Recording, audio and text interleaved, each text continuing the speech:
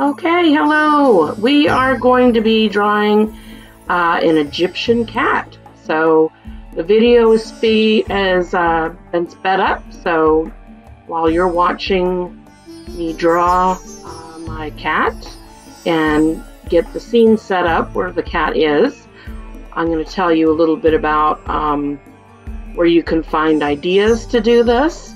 So on the instruction page of this project, you will see uh, some areas where you can click and it will send you to some idea sheets um, to draw your cats.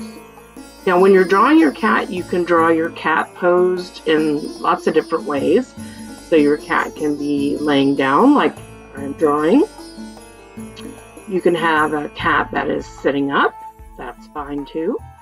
Um, or your cat can be walking or you know, it, it, however you want to do it. Sitting, walking, laying down, uh, all, all are okay. Um, you can see that I am drawing my accessories on my cat. After I have my cat sketched, that's when I can start adding these details. There's also idea sheets for accessories that you can add to your Egyptian cat. So take a look at those.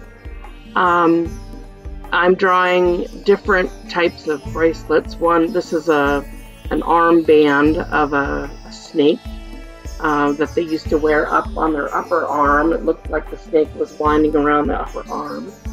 Uh, this is a belt I'm drawing on the cat right now.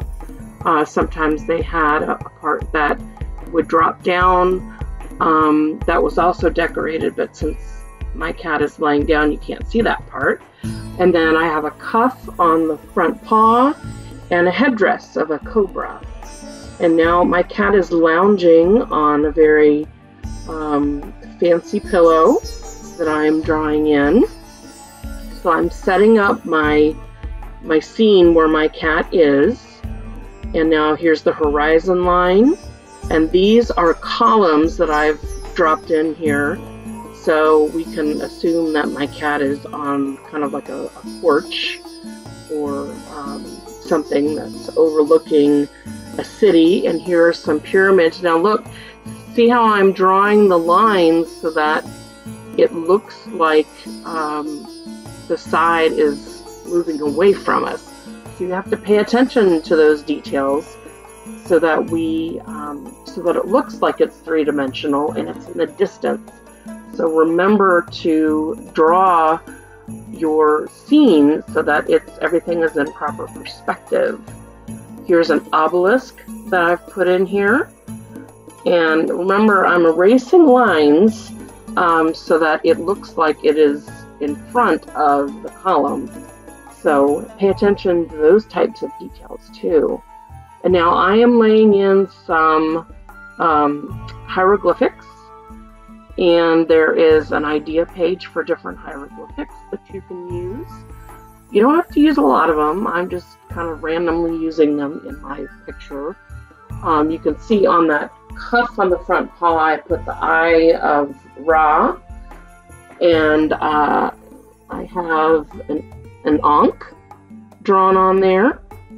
Um, okay, I'm putting in some floor tiles.